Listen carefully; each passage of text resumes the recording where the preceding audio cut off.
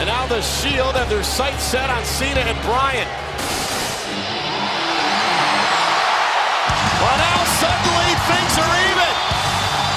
CM Punk, who beat the Shield Sunday miraculously in a three-on-one handicap match.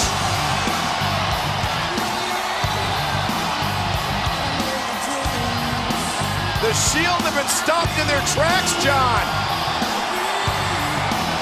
Not necessarily stopping their tracks, they're going over strategy. You don't know what they had planned.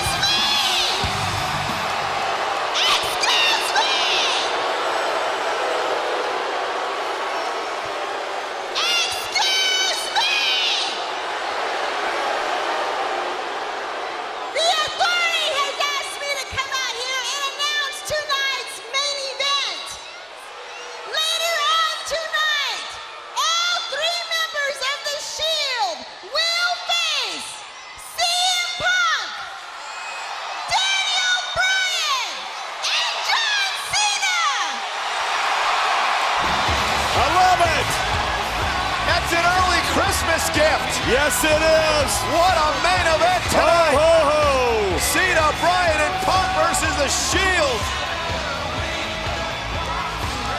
Ah, it's going to be a blockbuster Friday Night SmackDown because still to come tonight.